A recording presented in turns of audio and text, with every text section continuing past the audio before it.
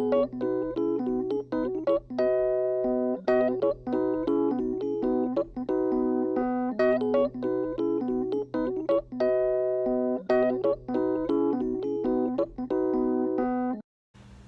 Imperial citizens. Thanks again so much for choosing to watch. I'm Anthony. Normally I wear glasses, but in viewing the playback, the reflections are way too annoying, so I'm going to do this part without. Today, I'm going to be unboxing, well, setting free, 185 Hasbro Star Wars 3 and 3 quarter inch action figures. If you haven't seen any of my previous videos, I Army build, Galactic Empire toys and figures specifically. What happens is is that uh, I'll buy the toys and I'll open up one of each and then I'll uh, put all the duplicates aside, you know, in the closet somewhere. I can't see them until it just gets to be too much and I decide to have a, an opening party. So let's take a look, see what I got. Here we go. All the figures I'm going to open. Let's start out with my uh, all-time favorite, the Rogue One Stormtrooper. I've got 34 of them. Um, these are virtually perfect figures except for, in my opinion, a lack of holster.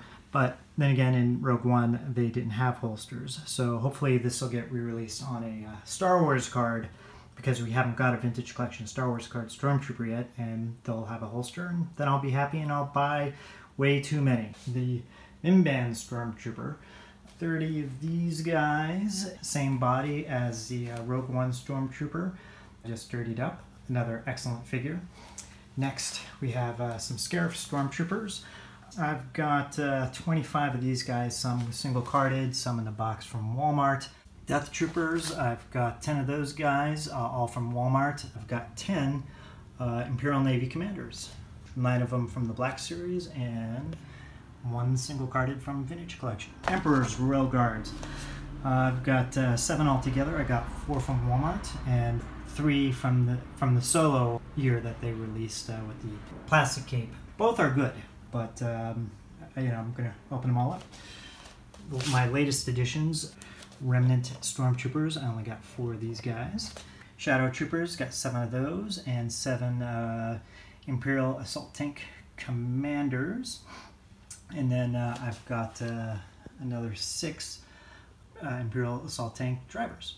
We got some uh, range troopers. I got seven of those guys. One uh, Han Solo from Solo, and then um, I've got four uh, Target six packs. Um, I got these uh, very cheaply. I think actually I think I got them less than less than that price for seventy five percent off. Six figures in here. They're all five points of articulation, which is a drag, but uh, I'll definitely be using the patrol trooper and the mud troopers. I will keep the helmet from the white uh, sand trooper and then the Mimban trooper I'm probably gonna you know get rid of sell sell on eBay or something. The TIE fighter pilots are really nice but uh, again five points of articulation and if I could I haven't tried yet but I, I like the helmet and I'm gonna see if I can't uh, pull them off and put them on some of my super articulated uh, TIE fighter pilots. What's left? Mostly singles. I've got three Imperial Ground Crew. I've got uh, K2SO, uh, Krennic, um, Jyn Erso in disguise, two Han in Stormtrooper disguise. Uh, I already said the Imperial Navy Commander, and it won Death Star Gunner. Um, not a big fan of it, so I didn't load up on those guys. That's all these guys. Um, let's let's get them open. One note before I begin. I usually open everything with a scalpel. Now I, I got to open the Walmart boxes and the solo boxes with, with the scalpel, and I'm going to open up a couple carded figures with a scalpel, but everything else, I think I'm going to go Christmas morning.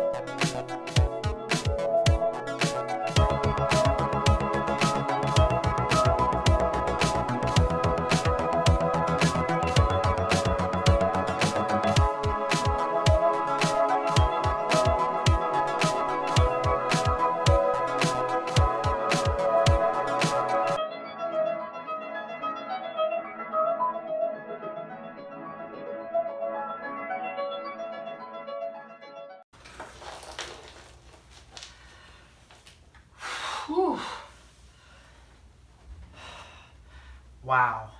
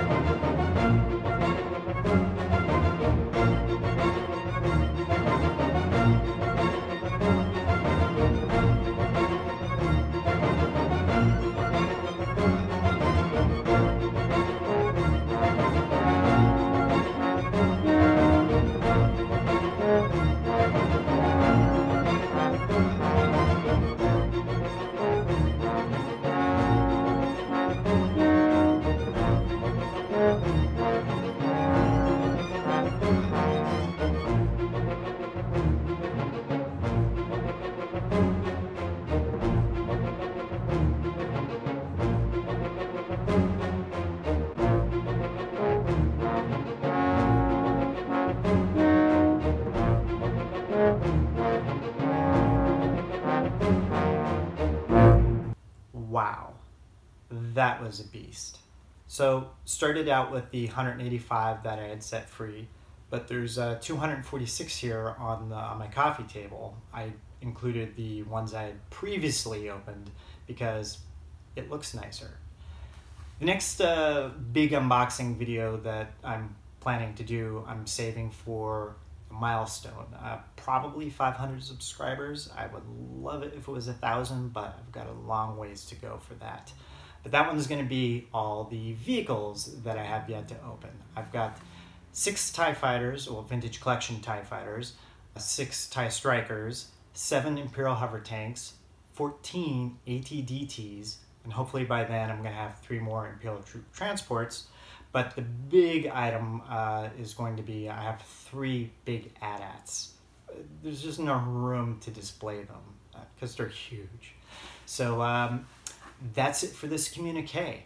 Huge, huge thanks to my daughter Grace for the music. And uh, as always, Greg Stauffer for the title card.